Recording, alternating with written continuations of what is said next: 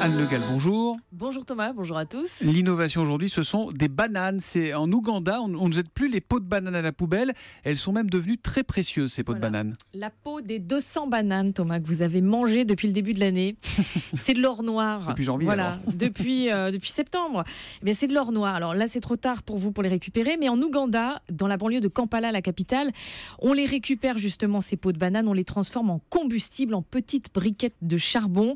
Le procédé a été mis au point par euh, la société Green Bioénergie.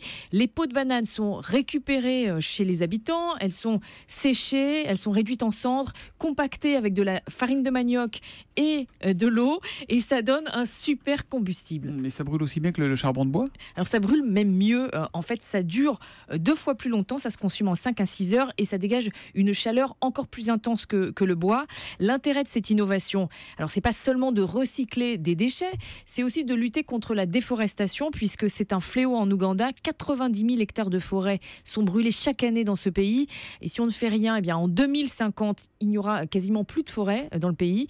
Donc avec le charbon de peau de banane, on préserve une partie de ces arbres puisque chaque tonne de briquettes utilisée en remplacement du bois, eh bien, ça permet de sauver 11 tonnes d'arbres. Une tonne de briquettes de bananes égale 11 tonnes d'arbres. D'arbres vivants sur pied. Ah Voilà. bah, Julie Anne, je vous offre ma peau de banane. hein, Oh, c'est trop aimable. En plus, elle est, elle est, gentil. com- elle est commerce équitable. hein, regardez, c'est- je fais toujours très attention Elle à est ça. presque déjà noire. Bah oui, c'est ça. Elle est pas très jolie, mais elle était bonne. Presque Mais si on les fait sécher, ça peut être un combustible qu'on utilise nous-mêmes, sans passer par les briquettes et la fabrication des Oui, briquettes de on va bananes. envoyer les pompiers chez Julie Leclerc. dans oui, non, on peut essayer. Oui, on va, essayer- on va- on va d'abord, on va vous envoyer des petites briquettes des vrais, et puis après on verra ce que D'accord. vous faites. D'accord Vous nous des, des chips de bananes aussi, c'est bon.